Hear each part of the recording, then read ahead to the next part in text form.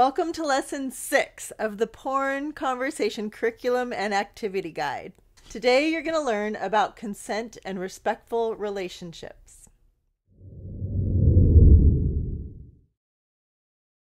Interpersonal relationships are all relationships. And like a spider's web, all the relationships you have at home, in school, and anywhere else are all connected. Relationships aren't just for romantic and sexual partners, they're also for friends, family members, teammates, fellow students, or members of the community. Everyone has the right to be in relationships that respect their personal boundaries. Consent is essential. All people have the right to decide for themselves whether they want to be in a relationship or not with anyone. Consent is important because it helps you and others feel safe and respected and comfortable.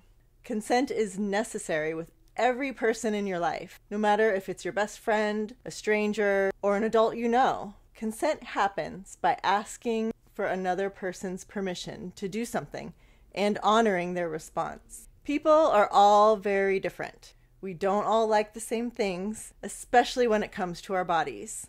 Not everyone enjoys being touched, especially without permission. Some people love hugging and holding hands, and others don't. Always, always, always ask for consent before you touch somebody. How do you know if someone has given you permission to do something? Ask for it. What does it mean to give consent? It means you agree, you give permission or allow something. When do you need to ask for consent? More often than not, but especially before giving hugs, holding hands, kissing, sharing secrets, borrowing things, etc. What does consent sound like? Well, it sounds like, yes, I would like that. Of course. Or, yes, thank you for asking. Or, okay, sure. What do you say when you don't want to give consent? It could sound like, no, thank you. Maybe another time. Or, mm, I don't feel comfortable with that. Or, I would not like that. Or, no way. What if you really want to kiss your crush? How would you ask for consent? Can I kiss you? Awesome, Gavin. What if they said no? I respect your decision. What if you're in the middle of hugging someone and they changed their mind and wanted to stop? I'd stop. What if they were okay with you hugging them yesterday, but aren't today? I'd be fine with it and be like, okay. What if someone says no, but they're smiling? I would feel like I wouldn't just be like, "Hey, can I have a hug?" No. No.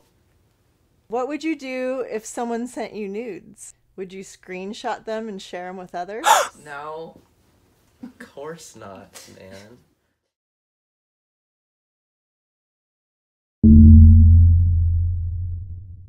Respect my boundaries! You are not respecting my boundaries! Respecting the choices someone makes about their own body is important in any kind of relationship. Every person has the right to decide what happens to their own body. Bodily autonomy is knowing that your body belongs to you and you only. No one else gets to decide what happens to your body. Not your friends, not strangers, and not even the adults that you know. You are in control of your feelings and have the right to say no to someone else touching you. Personal boundaries are about understanding and respecting your own needs. Some boundaries are obvious, like don't eat your classmate's lunch without asking, or don't hit the person sitting next to you in class. But it's also important to get to know your own boundaries and respect other people's boundaries too. Something that might seem okay to you might make someone else feel uncomfortable. And in order to avoid disrespecting their boundary, just play it safe and ask for their consent first. Have you ever really thought about the difference between a friendship, a romantic relationship, and a sexual relationship? Friendships are relationships with people who are not family. They're with people who we choose to interact with. Generally, friendships are with people who have similar interests. You may feel closer to some friends than to others. Respectful friendships are when we show mutual respect honesty, loyalty, and support to one another. Friendships are not defined by physically intimate or sexual contact. Romantic relationships happen when there's a strong mutual attraction. Romantic relationships often happen with someone who has similar interests and values. And romantic relationships may or may not include physically intimate or sexual contact. Sexual relationships are another story. We are physically intimate and have sexual contact in sexual relationships. They may or may not be with someone we share a romantic relationship with. Sexual consent is a really important part of sexual relationships and must be carefully practiced throughout the entire relationship. It's important to analyze how you feel in your relationships and ask yourself whether or not it feels satisfying and mutually respectful. Knowing the difference between a respectful and disrespectful relationship can help you decide whether or not you should stay in a relationship. In a respectful relationship, you feel respect, equality, trust, positive communication, honesty, support, and physical and emotional safety. A disrespectful relationship feels like the opposite of that. You may find yourself dealing with things like power and control, physical, emotional, or sexual abuse, digital abuse, unpredictable behaviors, humiliation, and fear. Even respectful relationships aren't always perfect, and it's common to have disagreements. The difference is, in a respectful relationship, you use positive communication to work through them for instance, there's no name calling, um, and you ask questions to understand your partner's perspective. In any kind of relationship, it's important to treat one another with care and respect. A respectful relationship makes you feel good about yourself. It makes you feel confident, respected, and accepted for who you are. A disrespectful relationship, whether it's online or offline, makes you feel self conscious, confused, or anxious and sometimes not safe. Leaving a disrespectful relationship can feel like a scary experience, but talking with a trusted adult can help you get through it.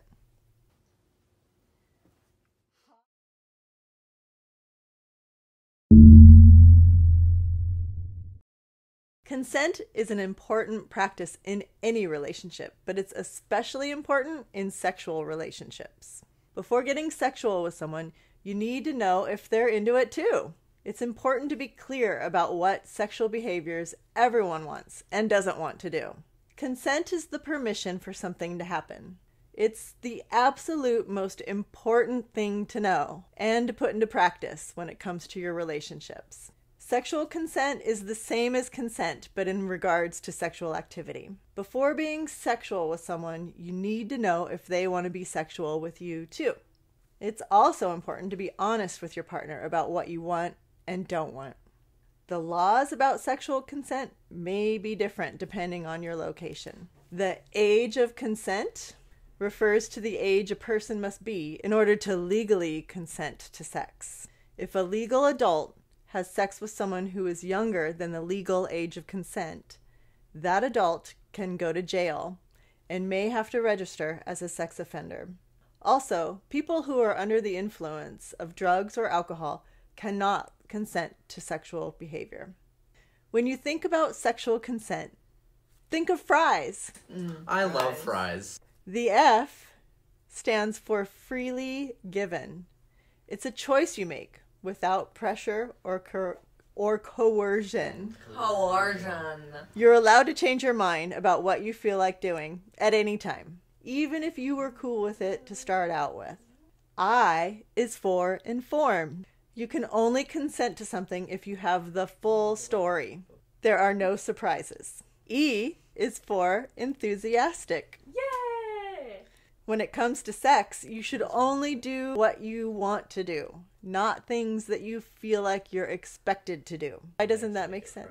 Enthusiastic consent is a term people use meaning it's more than just saying, okay.